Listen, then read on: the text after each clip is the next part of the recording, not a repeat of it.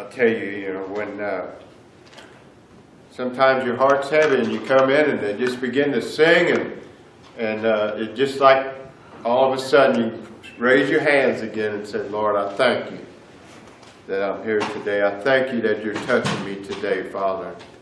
And that's what, uh, I felt this morning and I appreciate it.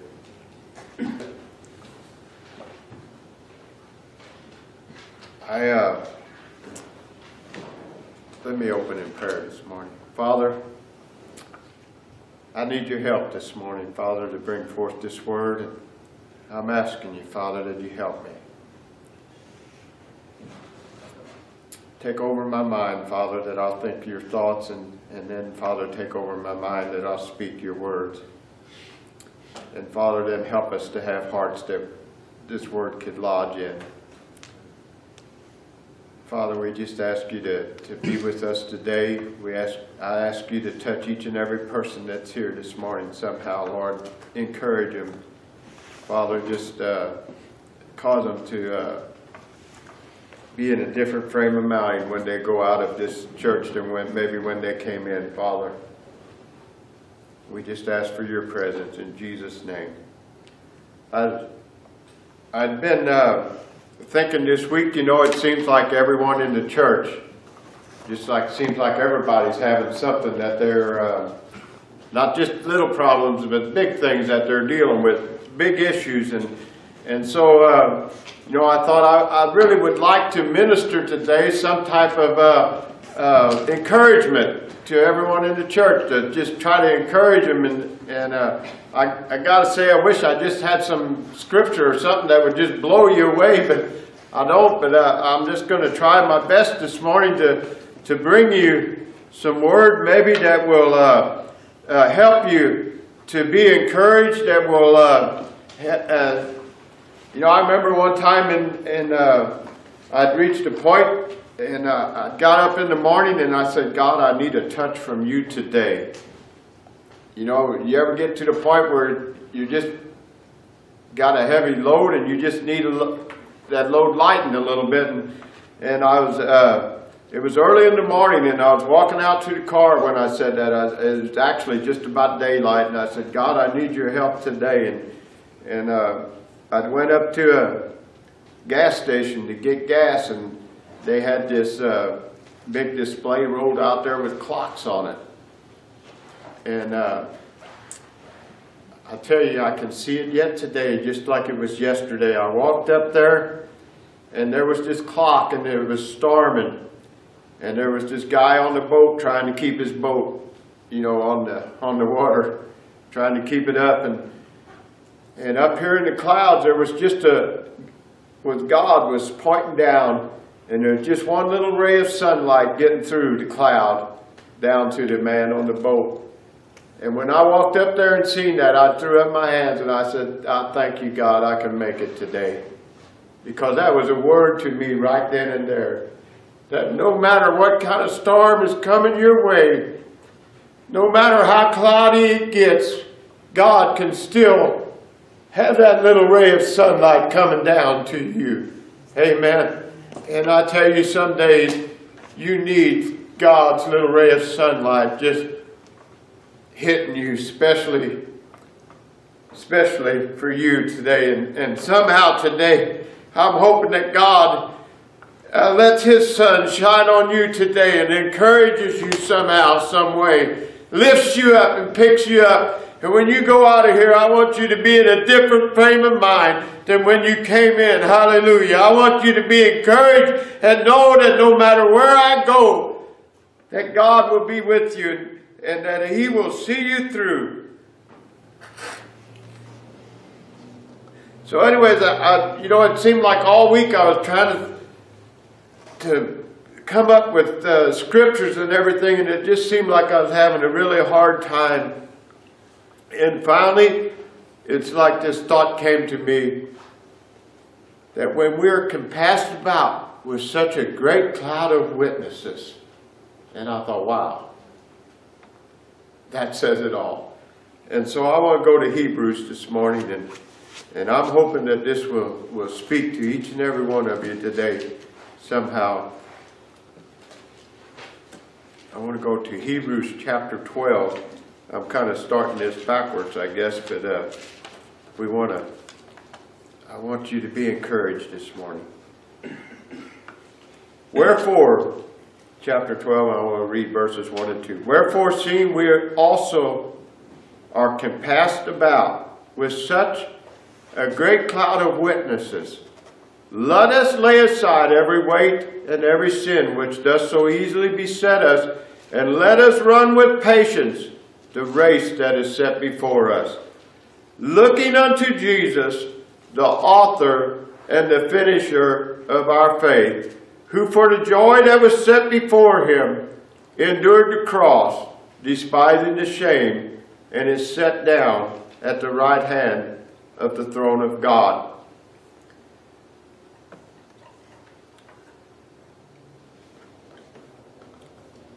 Let us lay aside every weight and sin which does so easily beset us, and let us run with patience the race that is set before us.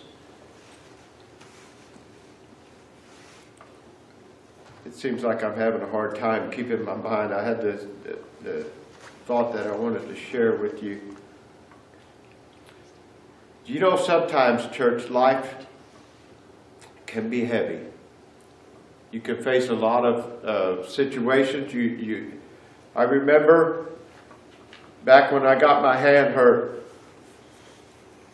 and uh, I'll tell you, to be honest about it, I lived to get through one day at a time. There wasn't no looking forward, you know, planning and saying, well, you know, next week I'll do this or next next day I'll do that. But it was just trying to get through one day at a time, just trying to get through that day because uh, you didn't know what was what was going to happen. You didn't know how you was going to get through it. And, you know, I was thinking uh, about a, the scripture about Lazarus, and it said that he was a beggar. And, uh, you know, at that time, I shared just yesterday that, uh, you know, that I was having to go to Louisville and everything, and, and like I said, I was just trying to get through one day at a time. And uh, engine blew up on my truck, and I literally had to go to somebody and ask them if they could give me some money.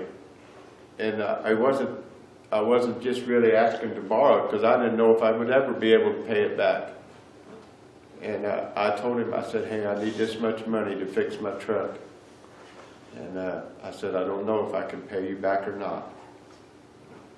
And I never forget, the man went in, wrote me out a check for the amount of money I needed.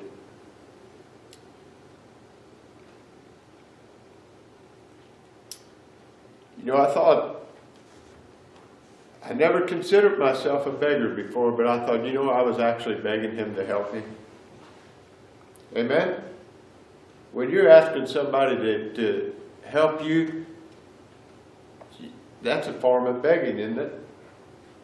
No, I wasn't sitting outside in front of the church or something and, and had my cup and doing that, but I was asking for help. And I, I was in a position where I needed his help. And I was, oh, I'd have to say I was begging, begging for help. And so sometimes in life, church, it can get heavy and it can get hard.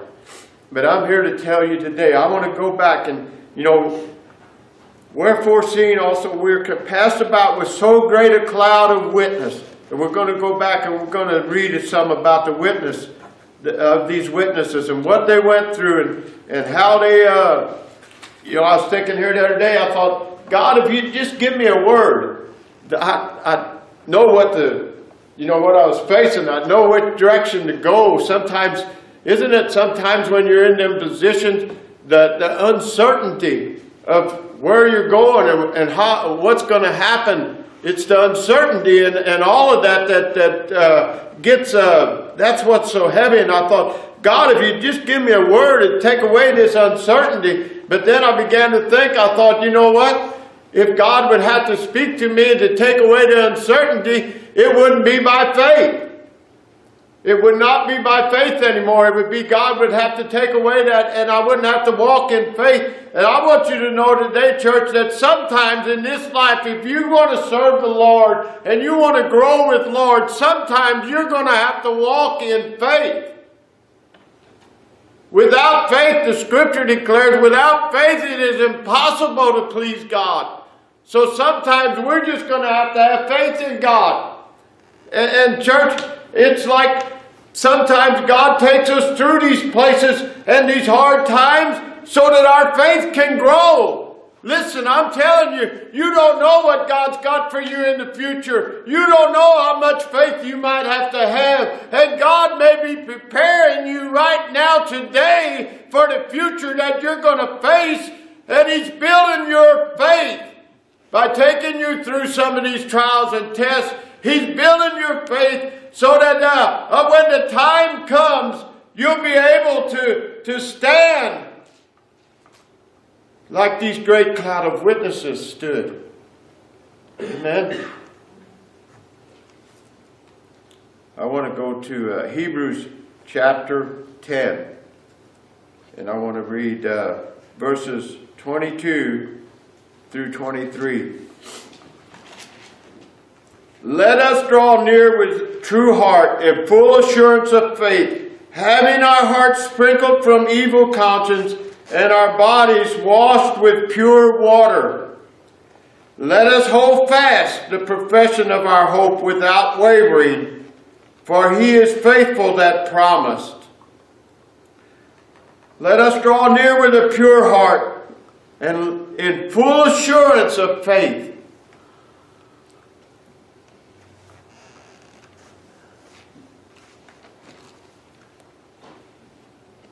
I want to say to you today, church,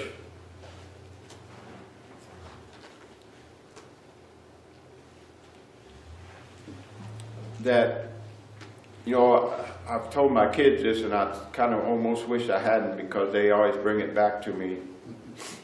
But, uh, you know, I, I say, how do you eat an elephant? How do you eat an elephant? That looks impossible, doesn't it? You think about eating an elephant, that looks impossible. But the answer is one forkful at a time. One forkful at a time. Listen, church, I'm telling you, sometimes you just have to live one day at a time. Just one day at a time. Just get through that day. Amen? One day at a time sometimes. I'm here to tell you it may not be that way always, but there are times in your life when it's one day at a time. Just a struggle to get through that one day. And I want you to know it can be done. I want to go to uh, Hebrews chapter 10 and verses. I'm going to read quite a bit of scripture this morning because I feel like scripture is saying it way better than I can. You know, when Doug was leading worship, I thought, you know what? He could just about preach that, couldn't he? He was doing a really good job, and I thought, hey, I think I could just about listen to Doug preach this morning. I appreciated that, Doug. I want to go to uh, verse 32, and I'll read through 39. But call to remembrance the former days in which after you were illuminated, you endured a great fight of afflictions, partly whilst you were made a gazing stock, both by reproaches and afflictions, and partly whilst you became companions to them that were so used. For ye had compassion on me in my bonds, and took joyfully the spoiling of your goods, knowing in yourselves that ye have in heaven a better and enduring substance. Cast not away, therefore, your confidence, which hath great recompense of reward. For you have need of patience, that after you have done the will of God, you might receive the promise. For yet a little while, and he that shall come will come and will not tarry. Not a just shall live by faith, but if any man draw back, my soul, my soul shall have no pleasure in him. But we are not of them who draw back into perdition, but of them that believe in the saving of the soul. Said, but call to remembrance the former days in which after you were eliminated, illuminated, you endured a great flight of afflictions. I believe that what that's speaking about is after after you've come to the place where you begin to know the Lord and you, you have light shed in your life, it's after you are illuminated, after you, you've come to a place where you know that God is, is with you. How many know sometimes you, it, listen, there's a lot of people that preach that after you come to God, all your problems are done away with, that you don't have no more problems. I'm going to tell you sometimes that's when your problems just start. But it's, it's when you come to God and your problems begin to come, you have someone you can lean on. Leaning on Jesus. You have someone that cares about what you're going through. You have someone that, that's looking out after your welfare. And so sometimes it's in them, them great flights, fights of affliction that we begin, uh, you know, I was telling somebody here the other day, it's when I really need God to work in my life that I call on, Him the most.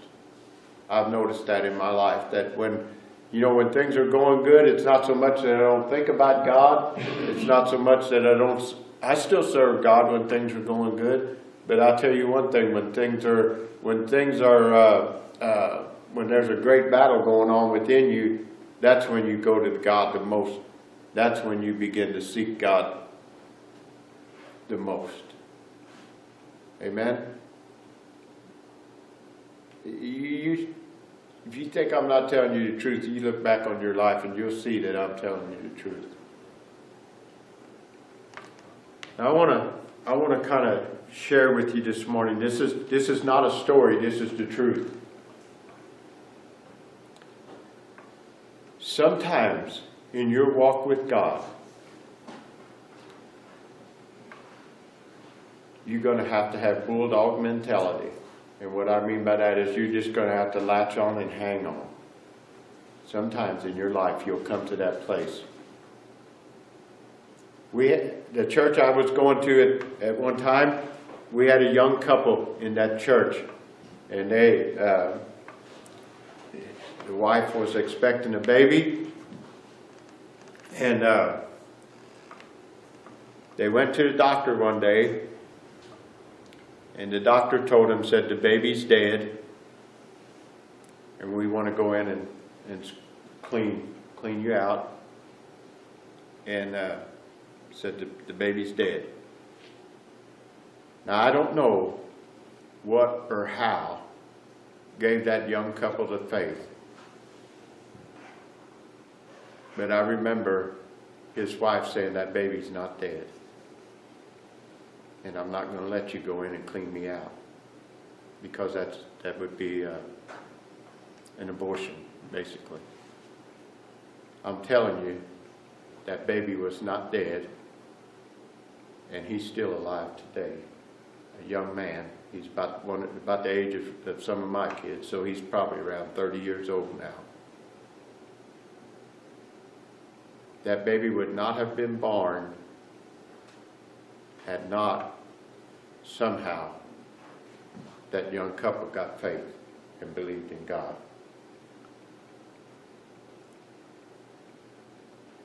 Uh, I don't know, I'm just trying to tell you sometimes the things that you're going through, the things that you're facing, sometimes you just got to hang on to God. You just got to hang on. Got to get a grip and stay there.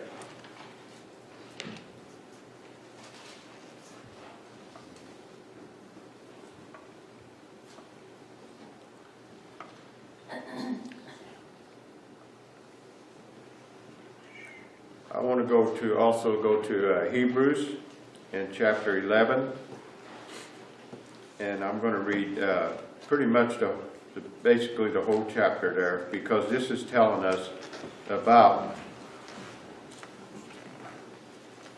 the great cloud of witnesses that we, uh, you know, we talked about, we're compassed about with a great cloud of witnesses. And chapter 11 is, is the chapter that's given us this great cloud of witnesses.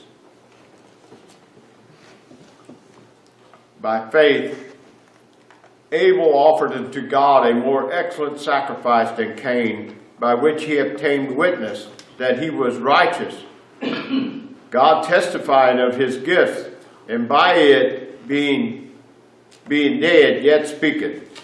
By faith, Enoch was translated that he should not see death, and was not found, because God had translated him. For before his translation, he had this testimony that he pleased God. Without faith, it is impossible to please him, for he hath he that cometh to God must believe that he is, and that he is a rewarder of them that diligently seek him. By faith, Noah, being warned of God of things not seen as yet, moved with fear, prepared an ark to the saving of his house, by which he condemned the world and became heir of the righteousness which is by faith. You know,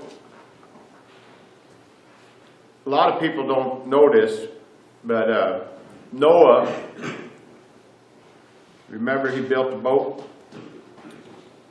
But there's another thing that before that, before that rain, it hadn't rained on the earth. The earth was watered by a mist, and it was not rain as we know it today that watered the earth. It was so. Not only was Noah having to build his boat but he was having to build he was having to build his boat without knowing what rain was. Amen. Now you think that didn't take some faith? He had never seen rain before in his life. How, how do you think you'd feel about this if you had never seen rain before in your life and all of a sudden God says, I want you to build this boat. And it's not just a little boat either. I mean, this is a thing that's a huge undertaking. And it takes years and years to do it. And God saying, I want you to do this because rain is going to flood the earth. Well, I don't know what rain is. I've never seen it before. You think that didn't take some faith? No wonder they call him a, a great cloud of witness. Amen? Because he was a great cloud of a witness. He, he, he believed God even though he didn't understand it all. There's no way possible he could have understood what rain was. And God's saying, build this boat. I got to tell you, there's some people going to think you're a little loony, you know. Amen? Noah starts building the boat and everybody's coming by. Noah, what are you doing here? Well, I'm building the boat. Uh, God told me to build a boat. It's going to rain and and you need to, you need to give your life to the Lord because uh, this rain's going to come and, and you're going to be destroyed. And uh, ha ha, Noah, what are you talking about? It's never rained. I don't even know what rain is. What is a flood? I'm going to tell you something. Noah kept doing what God told him to do. And many of them people that made fun of Noah for building his boat. When the time came, they would have loved to have been in that boat. Amen? They would have loved to have been in that boat.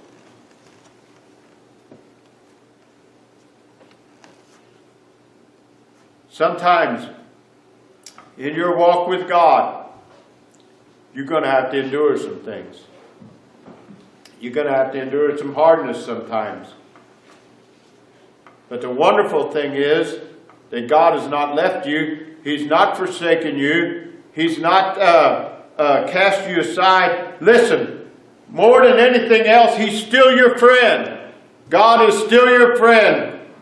You may be going through some hard times. You may be facing some things that you don't know how, to, uh, how it's going to end. You don't know what the outcome is going to be. But I'm going to tell you this hey man, that uh, uh, if if everything keeps going wrong and you're still uh, saved and you still keep your faith in God and and, uh, and the end of your life comes, uh, you may give up this world, but at least you're going to go on and be with Abraham in Abraham's bosom. You're going to be caught away with God. And uh, what difference does it make if all this stuff that you're facing in this earth uh, is hard and hard and hard and gets harder?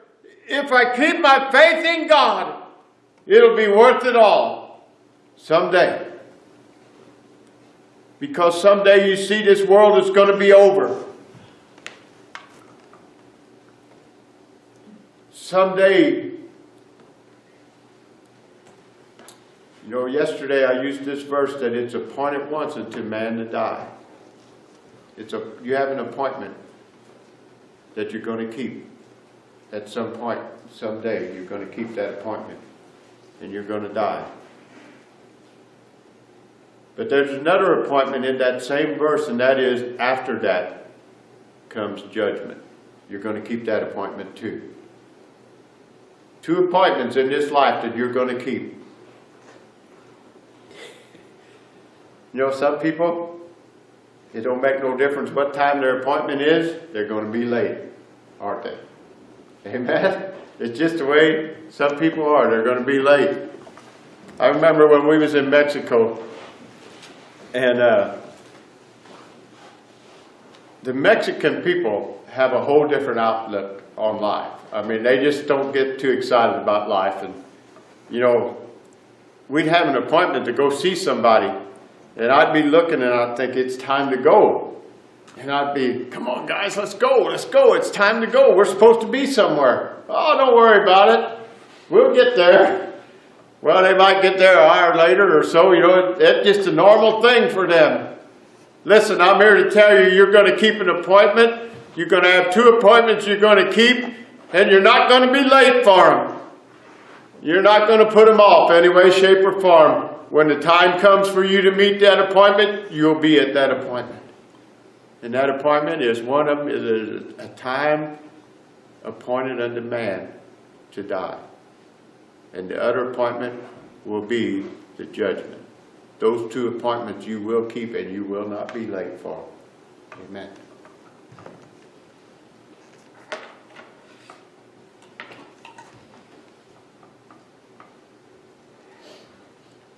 By faith, Abraham, when he was called to go out into a place which he should after receive for an inheritance, obeyed, and he went out, not knowing whither he went where he went, whether he went.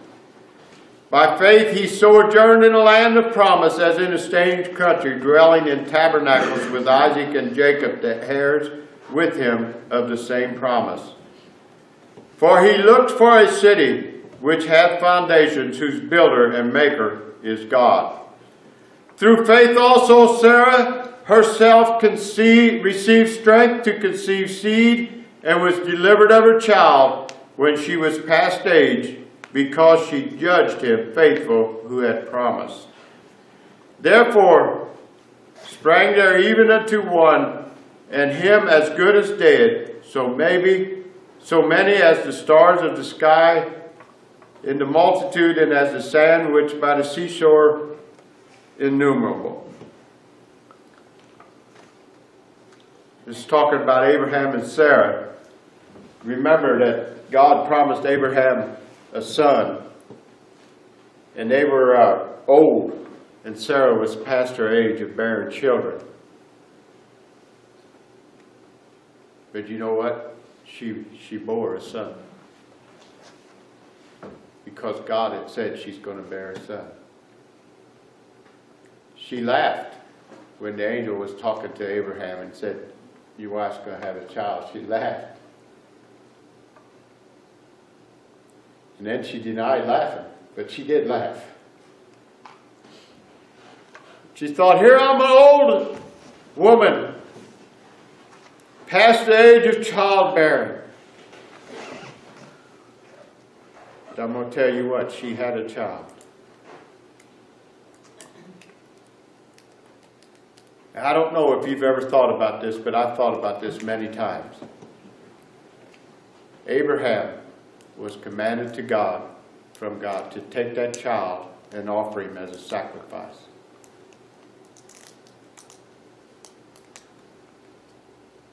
I have thought many times about that because I thought, how could he do that? Take that child and be willing to put him on the, on the altar and offer him.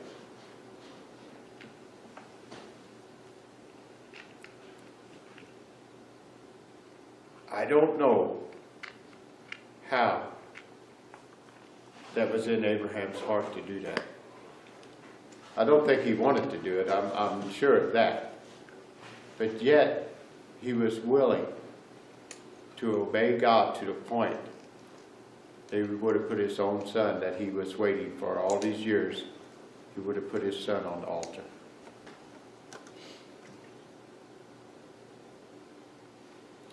I don't know, church, if I'm getting through to you today, but I'm trying to say to you sometimes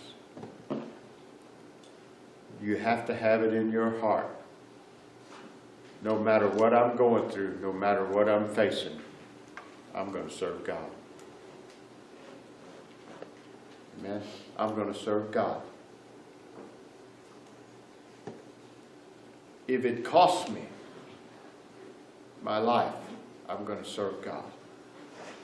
You see, there were, there were, there have been people down through the ages that gave up their life because they would not deny that God was real.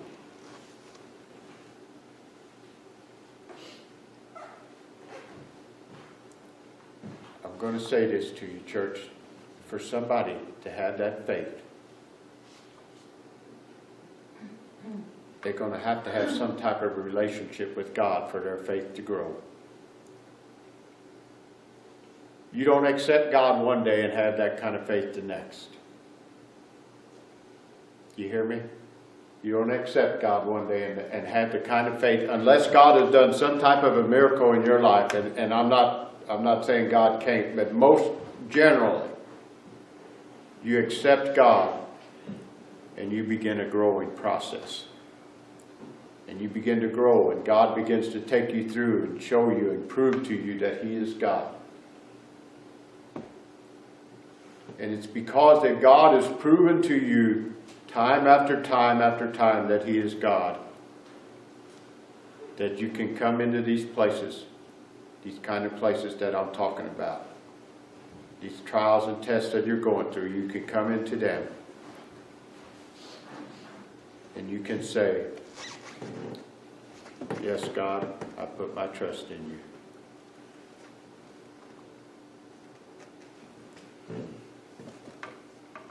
I, I was just thinking, my sister, 20 years ago, 21. They diagnosed her with cancer and gave her not too long to live. She's still here today. That's a miracle. You know, I'm here to tell you something. We have this great cloud of witnesses in the Bible and God did miraculous things in their lives. And I'm here to tell you, He's still doing miraculous things. Just, I was thinking about that this morning. That baby that that, that young couple said was still alive. He did a miraculous thing there. Diana, he's done a miraculous thing there. God is still doing miracles. And sometimes, church, we have little things that we face and we can't even believe God to, to take us through that. Somehow, God is trying to grow us into a place where we can believe that He's a miraculous God, that He can do miraculous things. I don't know what you're facing today, all of you. But I look out over this congregation today and I can almost, I can see people, and some of you, I know what you're facing, some of it. I don't know it all, but I know some of it. And I know sometimes it gets hard to keep your, your mind on God, to keep believing that God's going to do something in your life for you. I don't have all the answers. I wished I did, but I don't have all the answers. But I do know this, and that is that God is real.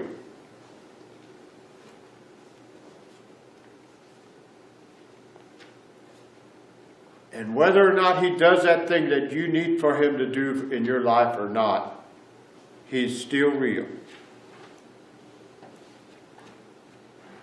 And somehow, I hate this because I'm preaching to myself. Somehow, we have to trust God. Sometimes we just got to put our trust in God. I believe it was Job said, though he slay me, yet will I serve him.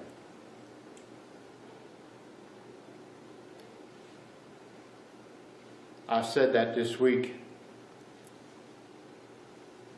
but I don't know that I had the convincing voice that Job had. You hear me? I don't know that I was as convincing as Job was. But I hope somehow in my heart that I can have the faith that I can say, God, if you slay me, I will still serve you.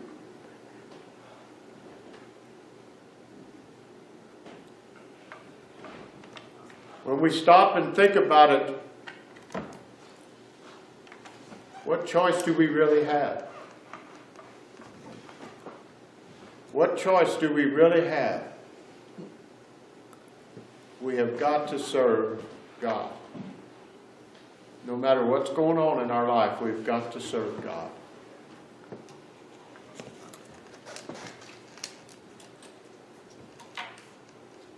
I'm going to, I think I'm going to quit there today, church. I want you to be encouraged no matter what you're going through, no matter what you're seeing in your life. Would even say this, even if everything looks like it's lost, put your trust in God. Put your trust in God. Amen. I want to pray for you today, church. Father, I pray today that you would be with each and every one this coming week, Father. The things that they're facing, the, the uncertainties in life, Father. I ask that you would um, bolster their faith, Father, to a point where they just come to a place where they say in heart, in their heart, Lord, I believe. Bless thou my unbelief. Lord, I want to put my trust in you. Help me. And God, I, I ask you just to to give them strength, Father, as they're facing the things of life, to, to bolster their faith, Father, to, to speak to them, to just to uh, take them through these trials and tests that they're facing, Father. And let them know that you'll bring them out the other side. In Jesus' name.